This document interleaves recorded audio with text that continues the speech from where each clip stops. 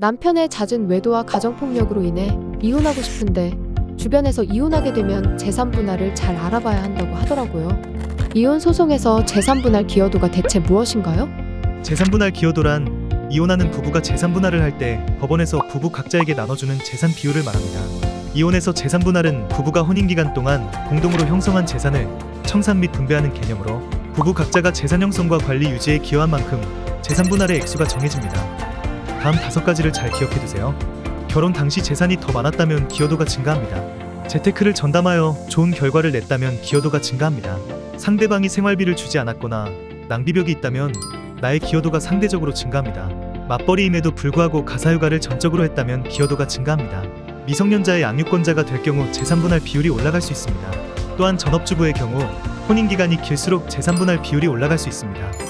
이혼 및 재산분할 소송 전문 변호사 경인법무법인 지금 바로 상담 문의 주세요.